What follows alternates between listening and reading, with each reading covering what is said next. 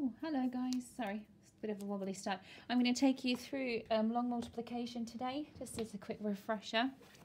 So let's, what we mean by long multiplication is where we have got um, four digits um, times by uh, either two or three digits where we have to do another step involved. So let's start off with an example of 4,387 times 23.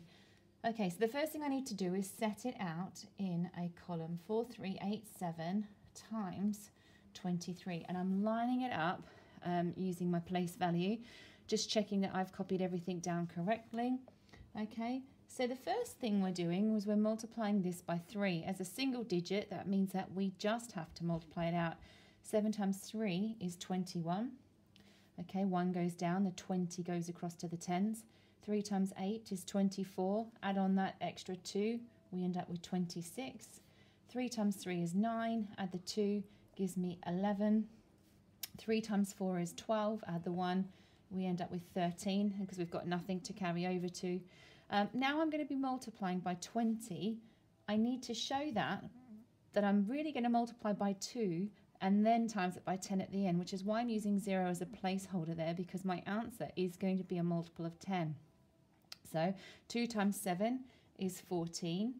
Okay, my second set of carrying I tend to put above. I sometimes cross out um, to make sure that I don't get muddled. Um, 2 times 8 is 16. Add the 1, 17. 2 times 3 is 6. Add the 1 is 7. No carrying over there. So I'm going to ignore that one. 2 times 4 is 8. Again, no carrying. Okay, I've done all my multiplying. So now I just need to add these two together. I always do a second column there in case I carry, I'll carry then at the bottom. 1 add 0, 6 add 4 is 10, 7 add 2 is uh, 9, 7 add 1 add 1, 3 add 7 is 10, 8 add 1 add 1 is another 10. So we end up here with 100,901. Okay, so let's try that again. Let's try um, 5,938. Multiply that by 54. Okay, and same thing. I didn't write it out above there. Um, so let's just start with 8 times 4, 32. 3 times 4 is 12. Add the 3 is 15. 4 add 9 is 36. Add the 1 is 37. 4 add 5 is 20. Um, 4 multiplied by 5 is 20. Add the 3 23. Okay, I'm finished with that 4. As I'm now multiplying by 50, I'm putting down a placeholder. 5 times 4, uh, so 5 times 8 is 40. 0 goes down, new, multi, uh, new carrying at the top. 5 times 3 is 15, add the 4 is 19. Same carrying. I am going to rewrite it again just because when I go back to check this, I always need to be checking my carrying if I can see that I've carried over three and then four, one and then one, it is really important. Um, so we're up to um, Nine times five is 45, at the one, 46. And again, showing that extra carrying, five times five is 25, add the four is 29.